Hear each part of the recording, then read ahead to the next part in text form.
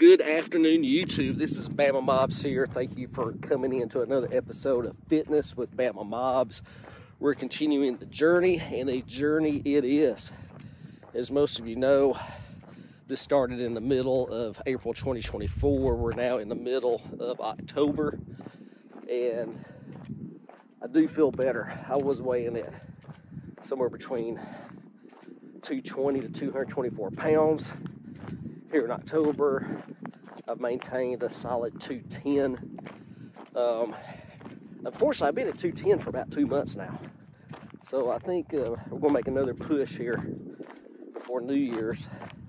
I'm sort of mixing things up. Um, I'd always done a lot of weightlifting.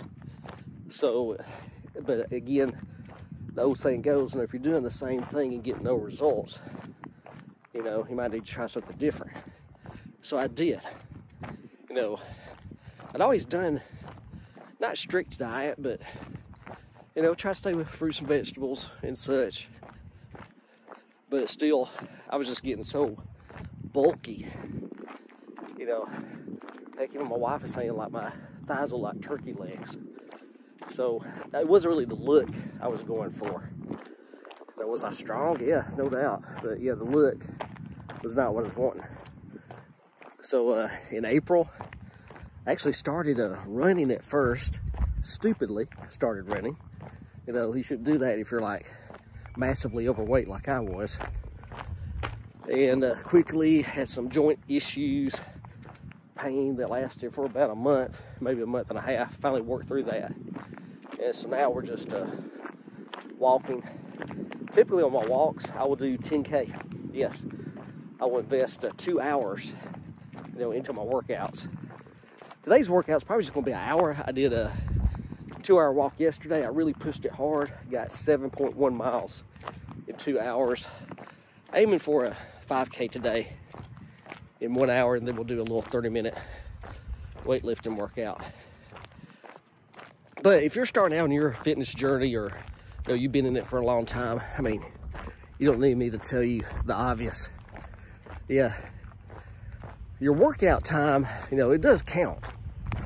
But it's really what you're doing those other 23, 22 hours of the day that you're not working out where you're going to get your results.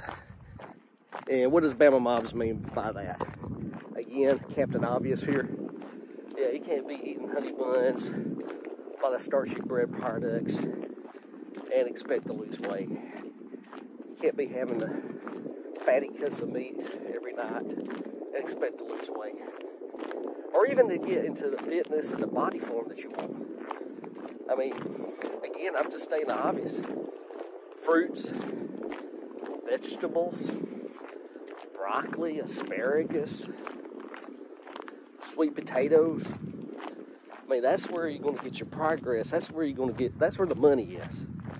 If you can convert your diet to over to majority of that, I mean, you're doing great.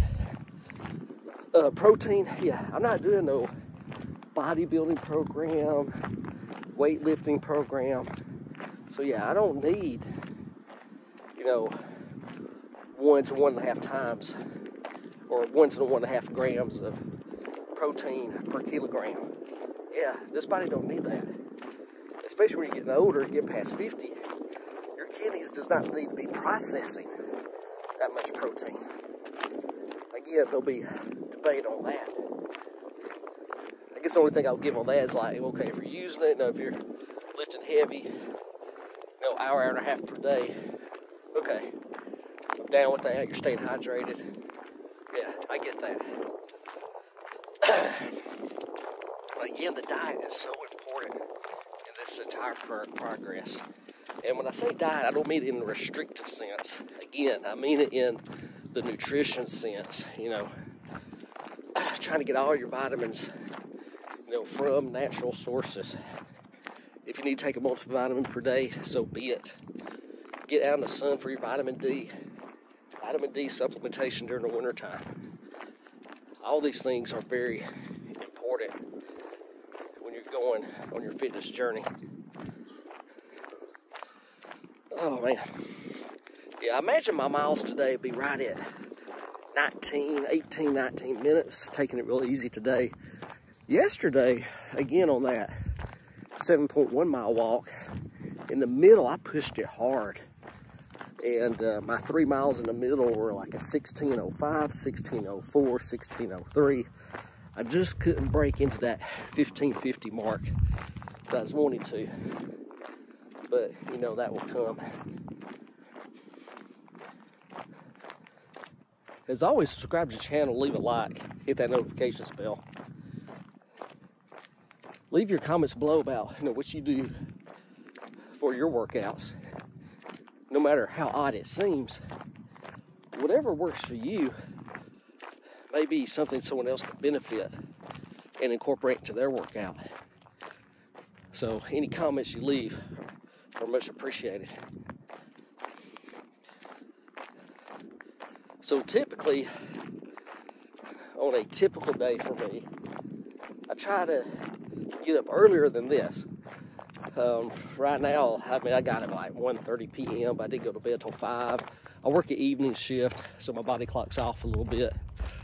Typically, the sweet spot for me is going to bed at 2 in the morning, 2 or 3 in the morning. That puts me getting up at 9 to 9.30, get my work workout in before noon, get lunch, and hit on with the day's activities. So that's the ideal day for me. And typically I do walk two hours every day. I know a lot of you are saying it's like, man, you know, I'm just so busy, you know, I don't have time to do that. And well, I'll say what you're really saying is that what you're really saying is that, yeah, I don't have time to get dressed out and get myself mentally prepared to get into a workout like that. And, you know, having to take a shower afterwards. So it's not even a workout that you're complaining about. It's all the stuff that goes around the workout. And I got easy solutions for that. Uh, number one, all the gym people's gonna hate me on this. Initially though, I would abandon the gym I was a gym goer, a lot of weightlifting. It just wasn't working for me. I mean, I was getting stronger, bigger, big back, big rumpus, but that's not really what I was going for. So I have not worked out with weights since April of 2024. And I did thin out. I thinned out a lot of my legs, arms, uh, chest and back you know, whatever was built up there is a little bit slower to shrink down. But I just now started back lifting weights this month. When I say lifting weights, I mean high reps, 15 to 20 reps, doing a uh, multiple body groups at one time. And then the key when you start weightlifting is, yeah, that hunger is going to take over. You got to really control your hunger and whenever, whenever you're like, hey, I know I got to eat something right now, I to eat my hand off. Well, better have a head of lettuce nearby, some broccoli, asparagus. Cook, the, cook those bad boys up real quick and uh, choke them down. Heck, eat them raw. I don't know, asparagus may be a little bit tough eating raw, but definitely the broccoli. All right, we have gotten down here at the very end of the airport, which is 0.6 miles. And now we're turning back, going back up the airport. Let me give you a little view of what I'm looking at. Yeah, it looks intimidating at first. You're like, man, I'm never going to make it back, man. I mean, it's going to be dark before I get back. I mean, the animals are going to get me. Just keep walking. You'll get there. You always do. Don't y'all love October in Alabama? I mean, look at this. It's 80 something degrees. Humidity's a lot better now. Sunshine. I mean, where else can you get a tan except for Alabama, Mississippi, Georgia, Tennessee? Well, not Tennessee, it's cold up there. Florida.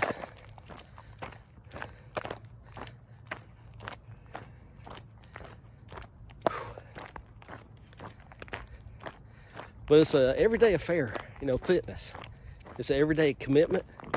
For me, it's two hours. Now, initially starting out, yeah, it was 30 minutes. I was just saying, hey, I want to carve out that time. And as I started doing longer distances, I found out, well, all I have to do is this. Multiple ways to shave time. Number one, eliminate TV. Yeah.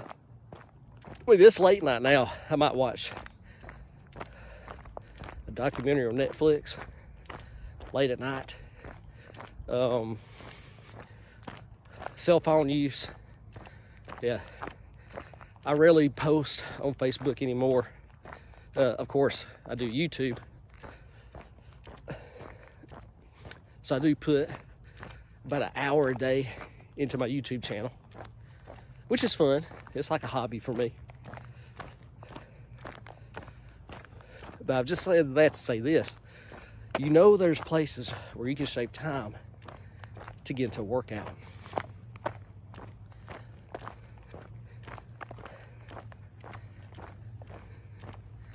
As always, I appreciate you subscribing to the channel. Hit that like button, take you like one second.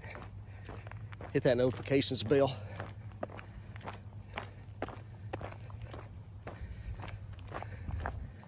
And let's see what we're going to do tomorrow. All right, today's Friday. So we got a big high school football game locally tonight, so I'm going to that. And then tomorrow is Saturday. The University of Alabama is playing the University of South Carolina in Tuscaloosa at Bryant Denny Stadium. And it is going to be a spectacle at 11 o'clock in the morning. Because I really doubt it's going to be a sellout. People are trying to unload their tickets. I kid you not. In the lower bowl, you know, in the lower bowl where you're actually part of the game, not an upper deck, where you have your oxygen reserves strapped to your back. 39 bucks. Yeah, we're talking about an SEC game. Now that was one ticket in lower bowl that I looked at. I would say the average ticket price is 70 bucks in the lower bowl. The upper deck, it's not much more than a couple going to Wendy's to get something to eat. Yeah, I'm talking about 40 bucks and below for a single ticket on SeatGeek. So that is the uh, state of college football. I mean, they really don't care if you go to the game or not. It's all about the TV dollars, which is okay. It's okay for me because now I can sort of justify going to Alabama game. I'm sure you saw my video or one of my YouTube shorts a few weeks ago where I went over the cost of going to the Alabama Georgia game. And it was a cost. It was just for one person. I can imagine taking your kid with you or family of four. Maybe like going on vacation. Yeah, I'm not gonna make you go watch my YouTube channel, so I'll just tell you about it here real quick and we'll wrap up the video. Yeah, so I went to the Alabama Georgia game, September 28th. Big time game now. Now, this you're talking about a number two, number four matchup, SEC game, Alabama Georgia rivals. Anyway, uh, we own Kirby, by the way. Donald Trump was there. He had F 35 Marine aviators out of Cherry Point, North Carolina, buzzing the stadium. The blimp was there. Laura Rutledge was there. The band, cheerleaders, everything. So basically, I went to a national championship game. So the cost on SeatGeek in the uh, corner of the end zone. I wouldn't say necessarily end zone. Okay, yeah, corner of the end zone. Uh, chair back seat, actually. Um, I think the price on SeatGeek was uh, 328, maybe 330. With the fees, the total price of the ticket, I think was like 420 and 19 cents. And that was with a 10% discount from SeatGeek. Because there was a lot of tickets unsold the day before kickoff because the prices were ridiculous. I mean, like for the zone where you have food and beverages included, plus your seat, air conditioned, those tickets are like 1200 one person.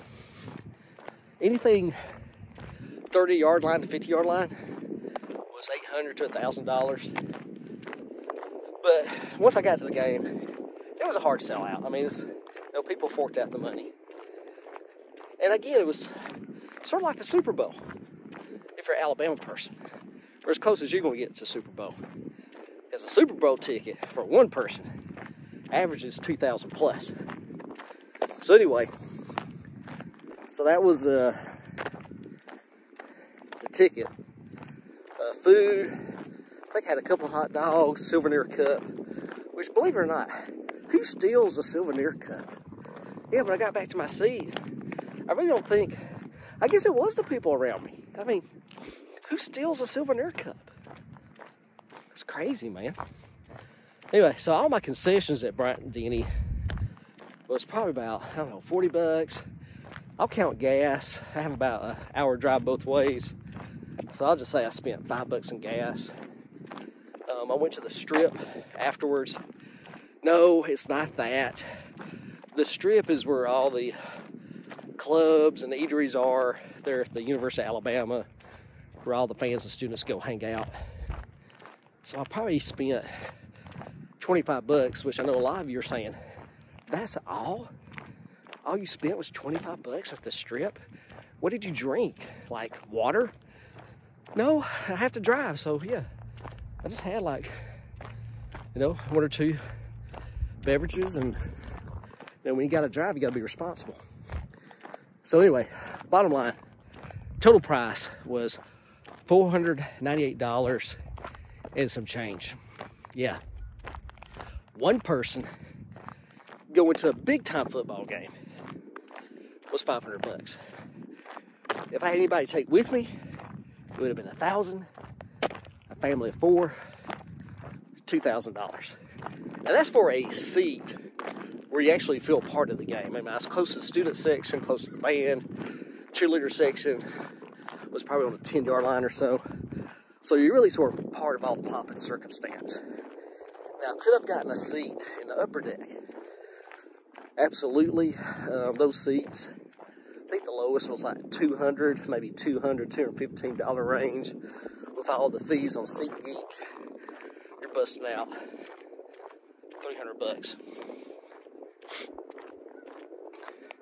All right, guys, I passed the one mile mark. I've enjoyed taking y'all on this first little bit. See you in the days to come. Appreciate you subscribing to the channel. Get out today, get out in the sunlight, get walking, get y'all's tan on, and get fit. I'll see you later.